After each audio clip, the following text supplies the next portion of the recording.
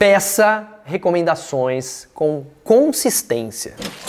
Cara, o que, que é isso? Ah, tem a ver com indicação? Eu gosto de recomendação do que indicação. Acho que indicação é uma palavra forte, mas recomendação é muito mais legal.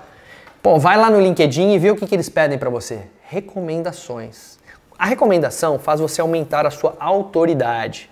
Quando você faz isso com ritmo, consistência, e isso vira um estilo de vida, você pode ter certeza que você vai recomendar e, guess what? Adivinhe, você vai ser recomendado. É, porque tem a questão do, da generosidade das pessoas. Quanto mais você indica e a pessoa é muito boa, quanto mais você recomenda e aquilo faz bem para outra pessoa. Aliás, eu sempre falo isso para os vendedores, né? Ajude os seus clientes. Recomende coisas que não são suas, inclusive, para as pessoas. Tenha mais conhecimento das coisas no mercado para que você possa impactar mais. Quem você ajuda. Porque todo mundo está cansado de vendedor, mas todo mundo quer uma ajuda. E o vendedor ajudando, ele vende sem vender.